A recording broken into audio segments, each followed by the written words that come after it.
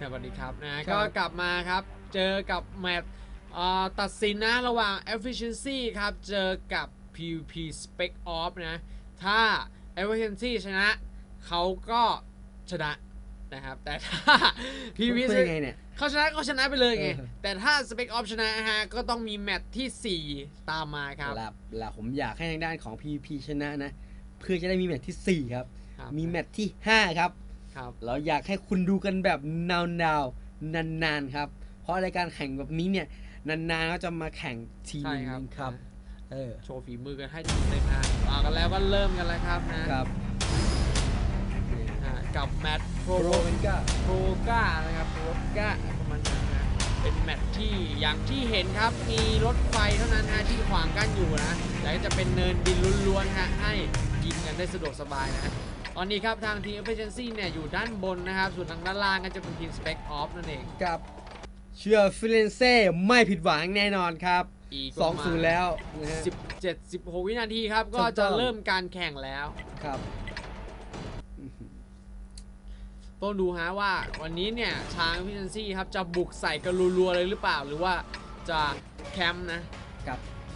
เพราะเขาได้เปรียบแล้วไง เขาได้เปรียบปุ๊บเขาทำอะไรก็ได้แล้ว ใช่ครับ อ่าตอนนี้ครับ Efficiency ครับขับเคลื่อนออกมาก่อนนะ ออกมาทางด้านซ้ายเป็นหลักครับนำทีมนะ แต่ก็ยังไม่ลืมครับ ตัวป้องกันฐานนะรถถังเบานะ ส่วนทางสเปกออฟเนี่ยค่อนข้างที่จะกระจายนิดนึงนะ เหมือนช็อตกันครับนะฮะนะยิงมาอยู่ด้านหน้าด้านซ้ายด้านขวายิงออกมามั่วซั่วหมดเลย แล้วนี่ฮะและเคลื่อนที่มาอย่างไวไปเร็มากฮะครับมาอย่างไวมากครับอย่างเร็วตอนนี้ฮะและเจอแล้วครับ เจอกันแล้วฮะโอ้ยสชงนกันเองครับ ชนชนกันเองฮะอังหวะเกียร์โอ้โหพี่พีชนกันเองครับเหมือนเครื่องจะรวนนะฮะเบรกไม่อยู่ครับซัดกันเองซะแล้วนะเปิดมาก็นะฮะเจอกันเองแล้วฮะสำหครัรับบสผมเปกออฟนะรถใช่ถังเขาตอนนี้ก็ดวลเดือดครับ ตรงใช่นี้ครับฮะตรงกลางหูซัดกันมันมากครับ เกมนี้เป็นการดวลรถถังเบานะ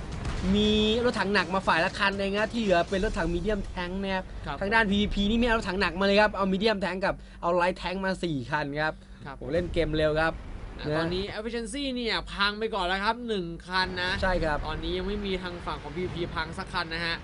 ทาง efficiency เนี่ยเห็นว่าเอ่อปะทะกันตรงเมื่อสักครู่เนี่ยเสียเปรียบฮะ ก็ต้องถอยร่นมาก่อนนะ เพราะว่าทาง PVP Spec Off เนี่ยอยู่บนเนินนะ มันได้เปรียครับบนะฮะ ตอนนี้ก็เริ่มมีการไล่ลุกเข้ามานะฮะครับ กลายเป็นว่าทาง PVP Spec Off เนี่ยบุกกันอย่างไวนะฮะเริ่มมาก็ยิงใส่กันรัวๆเลย แต่ผมเห็นจังหวะตะกี้เนี่ยวิ่งมาเร็วมากนะมันครับปั้งไม่อยู่ครับชนกันเองครับอืมรถเลื่อนเลื่อนเลื่อนรถเข้าไปคนละนิดคนละหน่อยฮะครับนะฮะกระจายฮะชนกันเองเลยครับนี่ครับแล้วก็ตอนนี้เคลื่อนพลมาแล้วครับผมทางด้านของทีมทีเอทีอีครับครับผม แต่ว่าทีอีนี่เสียไปแล้วหนึ่งคันนะครับ PVP นี่ยังอยู่กันครบนะครับเอาละฮะและอยู่ด้านบนนะครับหนึ่งสองสามสี่คันครับ แล้วบอกว่ายังไงครับ กลับก่อนกลับก่อนนะการฐานก่อนนะ สั่งสัญญาณกลับมาแล้วนะฮะนี่ครับเข็นมาอยู่ข้างหลังแล้วครับผมอื้อหือ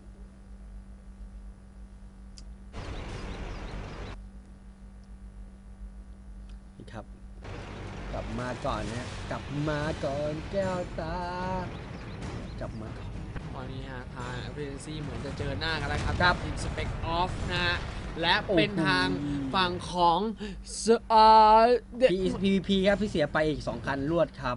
หลังจากการกลับมาของ TE ฮะ เป็น PVP ที่เสียไปหนึ่งนะจ๊ะ แล้วก็เป็น efficiency ครับ ตอนนี้ก็เพิ่มมาอีกคันหนึ่งฮะเท่ากับว่าตอนนี้น่ะทาง efficiency มีรถถังน้อยกว่าครับ นะครับนะห้าคันเท่านั้นครับ TE ฮะโอ้โห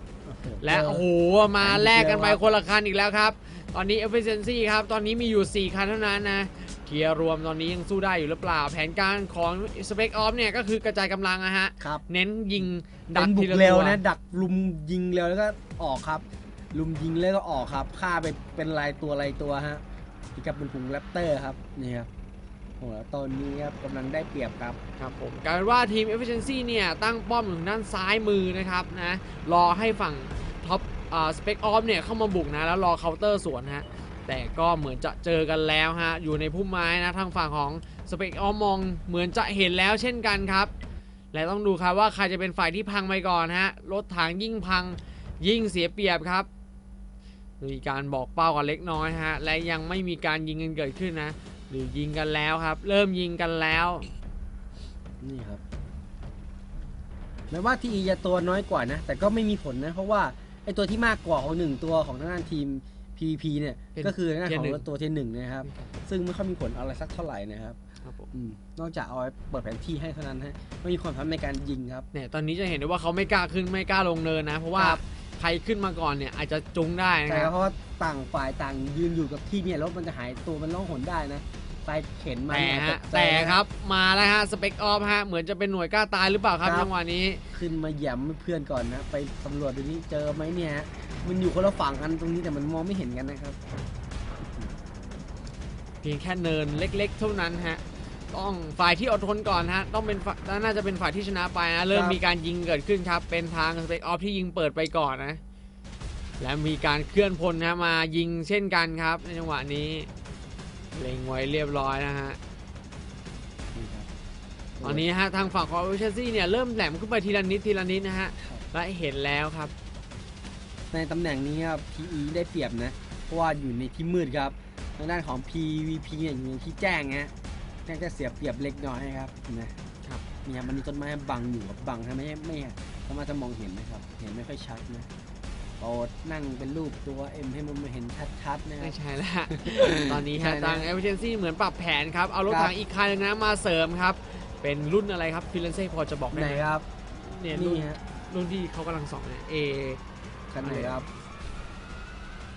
ไม่เห็นครับ มัน มันไม่ค่อยชัด มันอยู่ตรง มันอยู่ตรงมุมมืดครับครับผมสเปกออฟตอนแต่นี้หคน้ารับ ที่เป็น MX กันแหละครับที่ครับเราชื่อยาวๆครับอ๋อฮะ จะขีดนะน่าเป็นเอ่อ AMX ครับ นะตอนนี้ฮะทางสเปกออฟเหมือนจะอดใจรอไม่ไหวฮะเริ่มมาเปิดเสริมกำลังกันนะ เริ่มเข้ามาแล้วครับสองสามคันนะฮะเป้าหมายอยู่ตรงนี้เท่านั้น และเริ่มขึ้นมาทีละนิดทีละนิดฮะตอนทางฝั่งของสเปกออฟเองก็ปล่อยทีหนึ่งนะฮะขึ้นไปครับด้านบนจะเห็นตอนนี้ไล่ต้อนแล้วฮะ PVP เริ่มต้อนโอบล้อมทางด้านของ TE ขึ้นไปทางด้านบนนะครับนี่ฮะแต่ก็ยังส่งทีหนึ่งนะครับหนึ่งคันนะ เอาไว้ที่ฉาก ที่บ้านของตัวเองนะคอยการไว้เผื่อ มีใครแหลมมุงแหลมมาจะได้รู้ครับว่าเขาจะมาแคปหรืออะไรยังไงนะครับครับ ทีอีต้องถอยล่ากลับมาครับต้องถอยกลับมานะครับดูจากมุมมองของ TE เนี่ยจะเห็นได้ว่าเขาไม่เห็นอะไรเลยนะฮะกลับเพราะว่าไม่มีตัวคอยส่องอะไรให้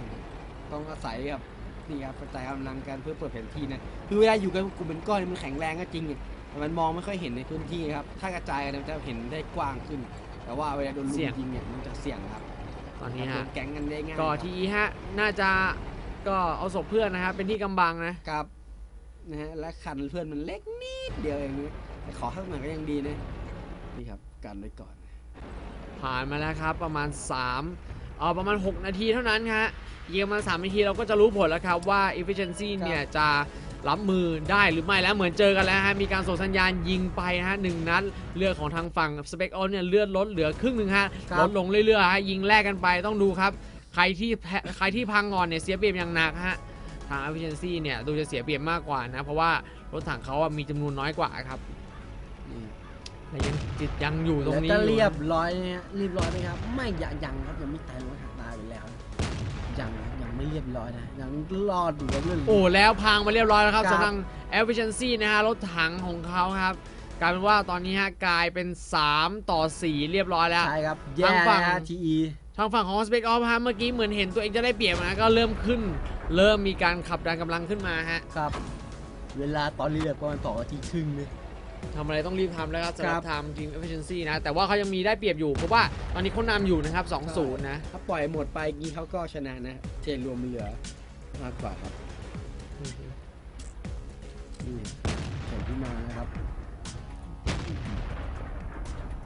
มันเจอตรงนี้เอาซากศพของคู่ต่อสู้นะ และกลายเป็นว่าตกกำบังครับ ยังไงฮะ เมื่อสักครู่นี้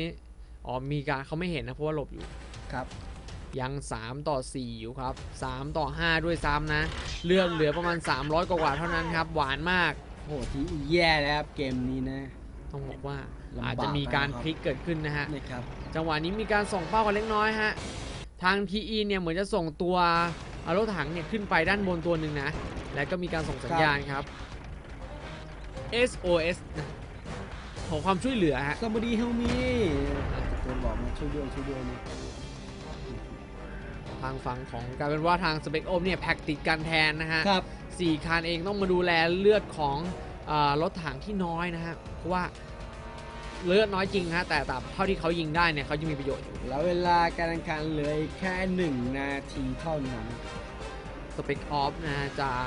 ซื้อเวลาไว้อย่างนี้เลยหรือเปล่านะฮะตอนนี้สเปกออฟได้เปรียบใช่ไหมฮะเพราะว่าถ้าปล่อยเวลาเขาชนะ ใช่ครับ